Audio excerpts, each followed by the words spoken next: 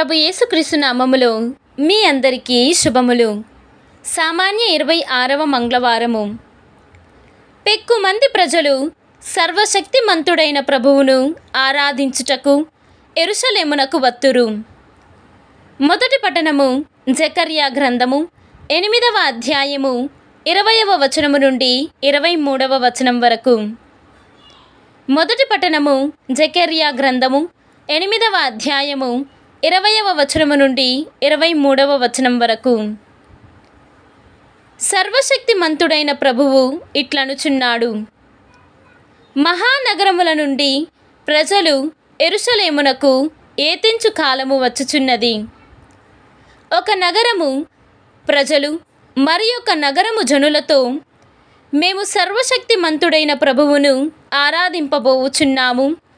అతని దీవెనలు అడుగుకోపోవుచున్నాము. మీరును మాతో రండి అని చెప్పుదురు.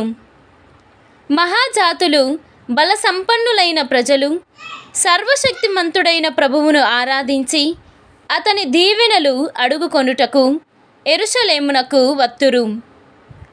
ఆ దినములలో అన్యజాతి ప్రజలు పది మంది ఒక్క యూదుని చెంగు పట్టుకొని దేవుడు మీకు తోడుగానున్నాడని వింటిమి. కనుక మేమును మీ భాగ్యములలో పాలు పొందగోరెదము అని పలుకుదురు.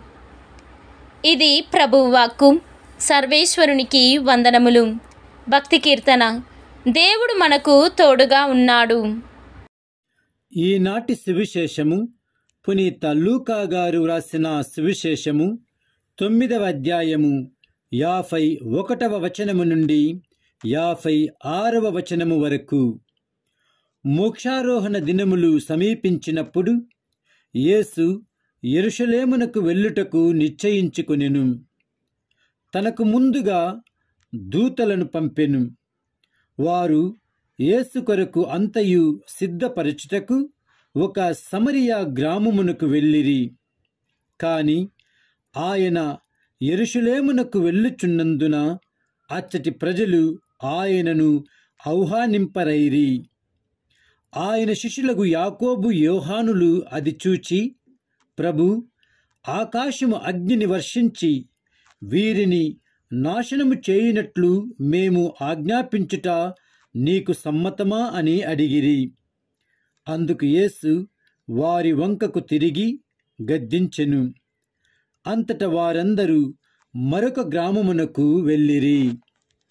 ఇది క్రీస్తు సువిశేషము. క్రీస్తువా మీకు స్థుతి కలుగునుగాక.